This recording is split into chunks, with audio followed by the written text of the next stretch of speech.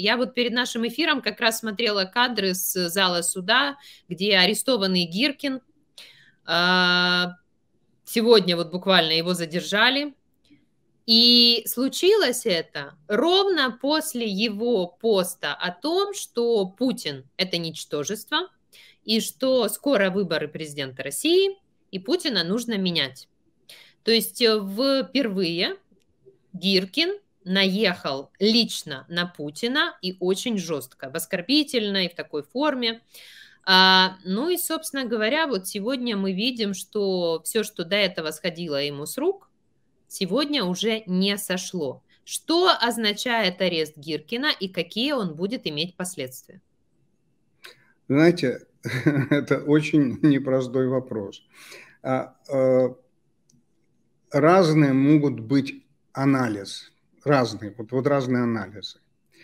Первый, который там самый распространенный, а, и это даже был прогноз, что такое может случиться после Пригожинского а, выступления, а, что в принципе те турбопатриоты, которые казались неприкасаемыми, вот вдруг стали угрозой, потому что в общем-то, их риторика мало чем отличалась от риторики, э, скажем, клуба рассерженных патриотов, создателем или там инициатором которого был сам э, Гиркин.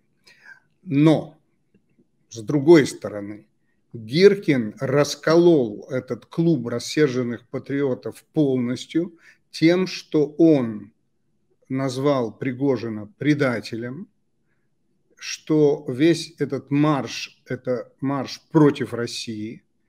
А, а что касается Путина, то он его верховным некомандующим уже называет очень давно. И, в принципе, он первым использовал это, это, это, это, это выражение, и, в принципе, ничего за это ему не было. А, может быть, реально Путин взялся за турбопатриотов. То есть те турбопатриоты, которые с ним встречались в Кремле, мы помним эту встречу, угу. которые в общем-то, да, в общем, да, принесли ему присягу, ну, в кавычках, да, они как бы приемлемы. А вот те, которые требуют по большому счету его отставки, ну, там, напрямую или, или, или, или косвенно, эти люди становятся для него угрозой. Ну, можно на это смотреть так. А если мы еще к этому добавим дело, которое возбуждено против Квачкова, да, а Квачков это офицер, ну, многие его помнят по покушению на Чубайса, а, он один из руководителей, там этот союз ветеранов офицерских офицеров, ну, что-то в этом роде, Значит, и он, когда он комментировал э, вот этот э, Пригожинский э, марш, он его оценил, к примеру, очень положительно. Он сказал, что это был великолепно организованный марш, что так быстро пройти такую длинную дистанцию, это реально надо уметь, что ПВО было абсолютно великолепным, а у Пригожина проблема в том, что когда сбили Ил-22М, а Ил-22М – это практически штаб коммуникации генерального штаба.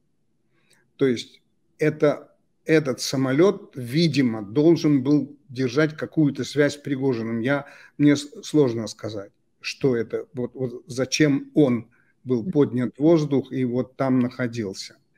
Значит, только в этот момент, как бы вот э, тому же, тому, тому же Квачкову показалось, что все же где-то рамки начинают как-то вот, ну, Пригожин начинает переходить в рамки. Да и, не, да и то очень так, мягко. Да, и что он сказал, что интересно, что то, что произошло 24 июня, это то, что произошло 19 августа 1991 года. Он это сравнил. То есть путь против Горбачева и поход Пригожина против Путина, хотя это заявлено тоже не было. Значит, эта политическая оценка, я думаю, ну, она, я думаю, она была воспринята не очень э, благожелательно. Я думаю, что Квачков один из тех людей, которые пользуются авторитетом среди э, ветеранов-офицеров, да, а это не только там ветераны Афганистана, это ветераны Чечни, э, вот, и э, против него возбуждено дело. А, значит, сразу после этого последовал, а, последовало задержание Гиркина. Ну, может быть, это чистка турбопатриотов. Может быть, Путин почувствовал а, угрозу с этой стороны, потому что с другой стороны, так называемой либеральной стороны, никакой угрозы его власти нет вообще. А, так, а с этой стороны... Вот да, да, да, да. С, точки, с точки зрения Путина и его власти. О чем это нам говорит? Что он становится сильнее и зачищает абсолютно все, и на это, значит, у него есть и силы, и ресурсы, что еще как-то шевелилось э, и могло ему противостоять. А, либо же все-таки это хорошо, вот ну, сегодняшний арест и до этого события Гиркина, потому что это говорит о том, что, значит, будет нарастать, накаляться противостояние Путина с какими-то силами внутри России, потому что мы же понимаем, что Гиркин действовал не один. Ну, то есть сколько экспертов, сколько инсайдеров, все говорят о том, что кто-то там ФСБ, какие-то крылья за ним стоят, они его прикрывали, иначе, ну, невозможно там в России современной говорить даже 5% из того, что говорил Гиркин, оставаться на свободе, а все это время он это делал. То есть это для нас хороший сигнал, то есть это говорит о том, что там продолжатся вот эти вот бурления, разброты, шатания, жаба, гадюку будут дальше, и это приведет к падению режима, либо же это плохо, а это значит, что Путин, наоборот, усиляется, усиливается. Нет, я не думаю, что Путин усиливается, я думаю, что наоборот.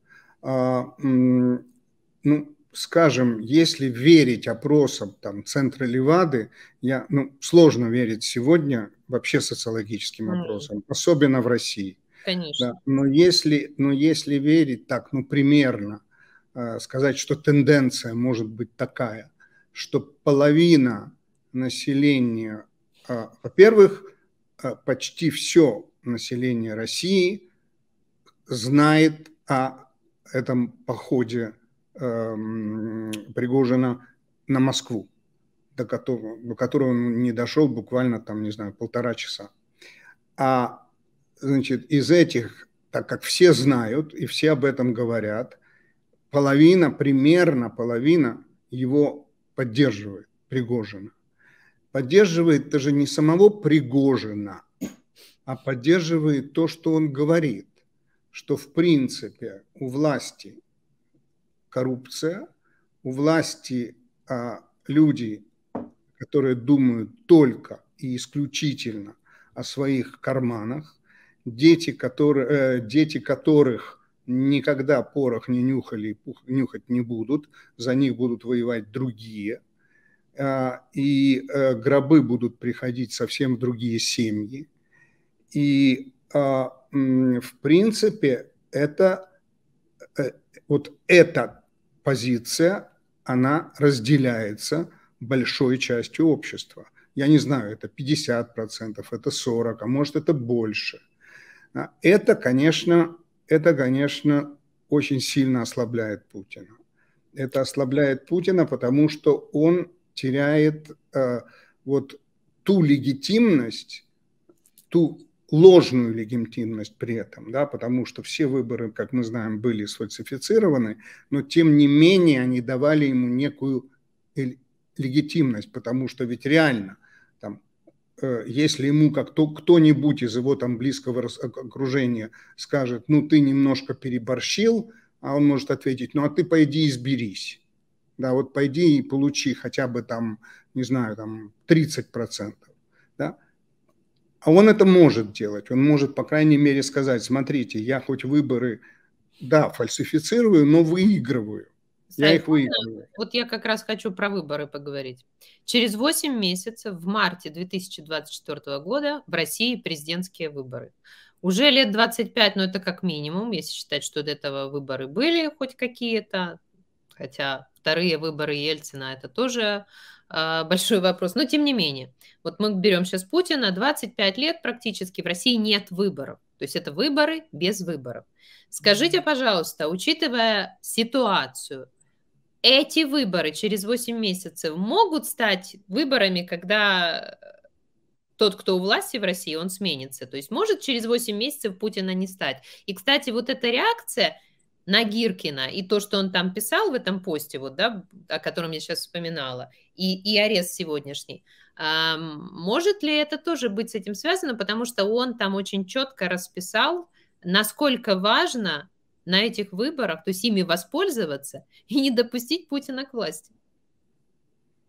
Ну, вы понимаете, да, ну, да, в принципе, да. А, вдруг эти выборы могут оказаться для... То есть Путин вообще может не участвовать в этих выборах, да, потому что его попросят не участвовать. И потому, потому что это, это, это, это, это комиссия, которая вокруг него, она выдвинет совершенно другого кандидата.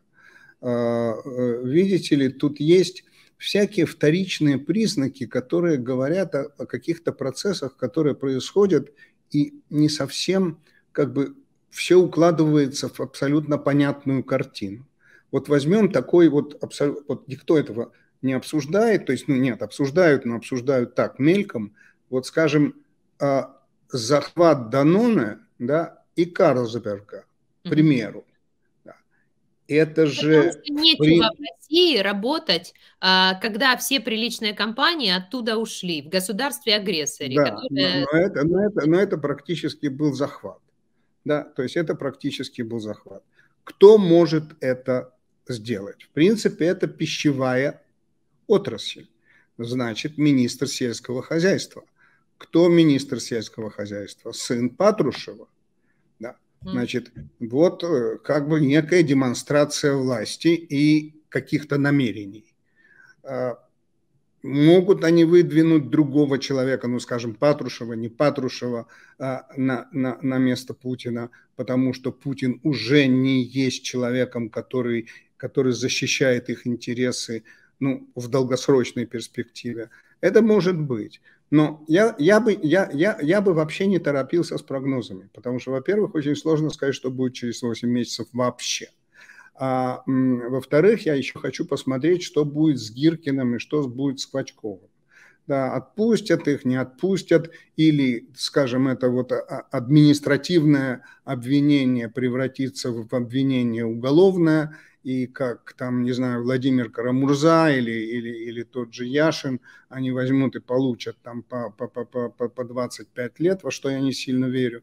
Да? Но э, дело в том, что они, люди для Путина и для его окружения реально опасны по-настоящему, потому что такие люди, они будут раскулачивать они будут переделывать, э, они будут переделывать собственность. Нет в этом никакого сомнения. Я думаю, что такой человек, как Квачков, который вообще-то зоологический антисемит ко всему прочему, да, и э, который просто считает, что Россия для русских, ну, это будут погромы. Это будут погромы просто, ну, не знаю, вплоть до, до, до ювелирных магазинов в Москве. Да. Э, Стрелков Гиркин тоже очень похожий персонаж. Но, в принципе, Стрелкова Гиркина они бы могли спокойно передать в Гагу.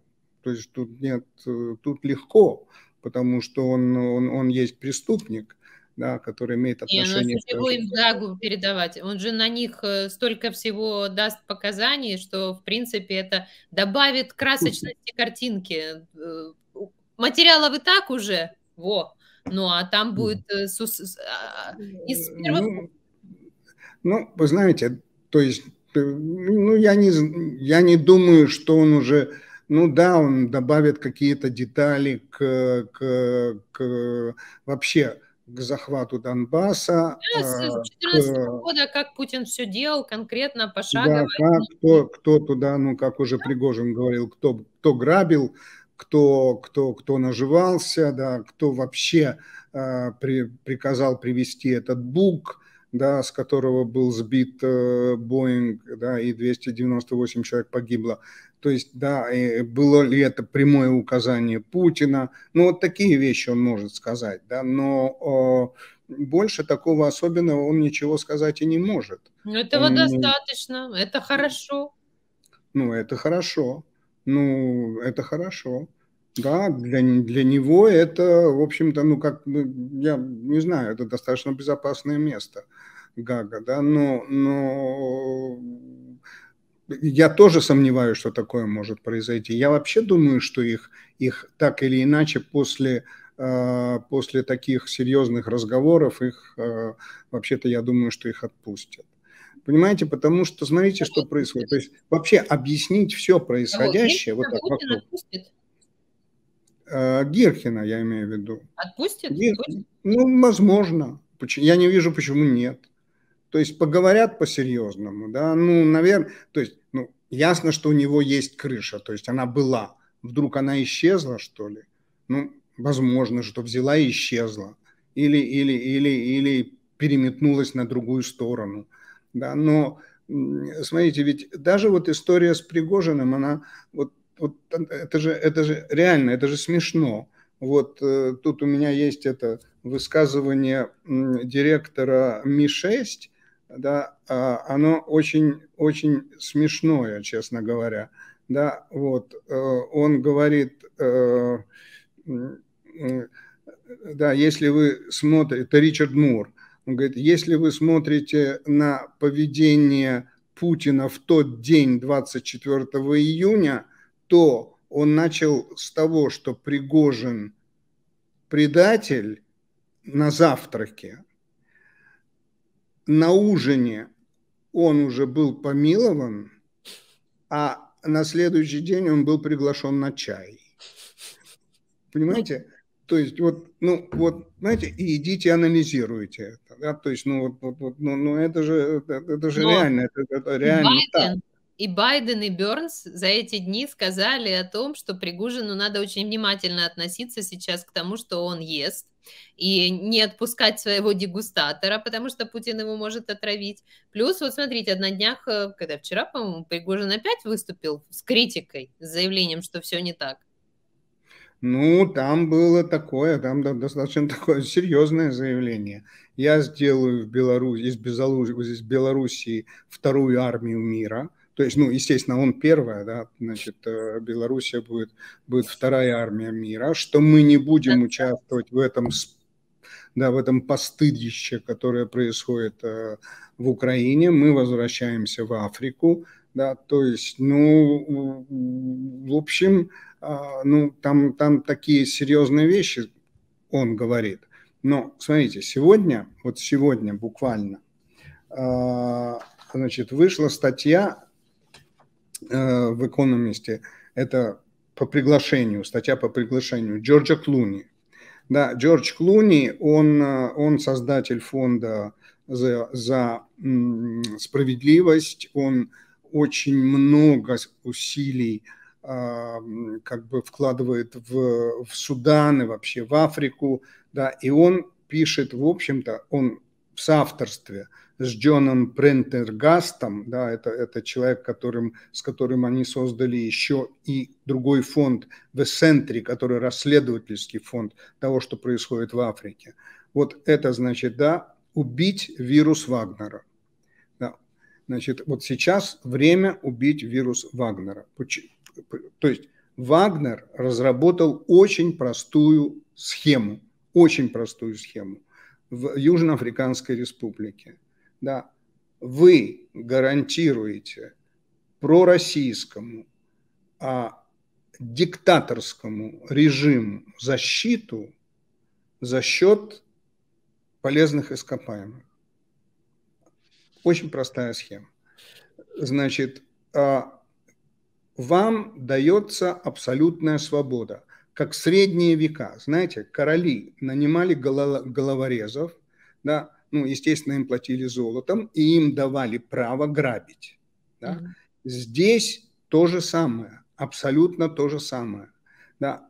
Им дается право мародерствовать, а они обучены, это все пишет Клуни, да, они обучены специальным методом пытки, пыток, то есть отрезать конечности, вырывать ногти, душить, сжигать живыми, не оставлять вообще свидетелей, вообще свидетелей. Да?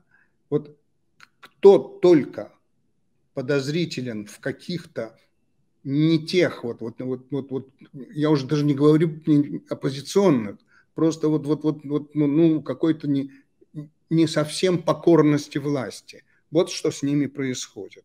И значит, вот, да, но это дает огромный поток наличных.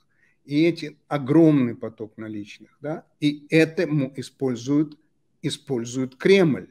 То есть вот он говорит, что Вагнер был одним из самых успешных внешнеполитических инициатив Кремля в последние десятилетия. То есть, естественно, преступный, естественно, криминальный, естественно, очень жестокий, но успешный в том смысле, что они разрушили любые попытки демократизации Африки, ну, где могли, а смогли они много где, да. Они заработали огромное-огромное количество денег, которые по черным всяким каналам идут все же Кремлю, который сейчас, в общем-то, валюты у него нет, да, то есть, ну, э, путей получения валюты, ну, кроме йен э, китайских, у них нет, да, и Пригожин играет для них очень важную роль. Клуни пишет, опять-таки, он говорит, неважно, как это будет называться в будущем. Будет это называться Вагнер или иначе. Будет эта организация слита с какой-то другой организацией. Будет там как-то все, все иначе. Но эта политика продолжится, потому что это есть цель Кремля – не дать ни одному демократическому режиму а восторжествовать в Африке и вытащить оттуда абсолютно все богатства, которые возможно вытащить. Да? Вот чем они занимаются. И это, э, как называется, да, вот я сейчас цитирую, Россия – это колониальная машина мародерства. Угу. Вот, понимаете, вот это есть Вагнер. Значит, если у Путина есть человек, который может в этой роли заменить Пригожина, да, и приносить ему те же самые дивиденды, которые приносит Пригожин. Угу. Конечно, он его может уничтожить, у него может э, что хочет сделать, убить там, и, и, и так далее. Да. Если у него такого человека нет, а судя по всему пока нет, да, то он Пригожина трогать не будет. И поэтому Пригожин так вальяжно ведет себя в Беларуси.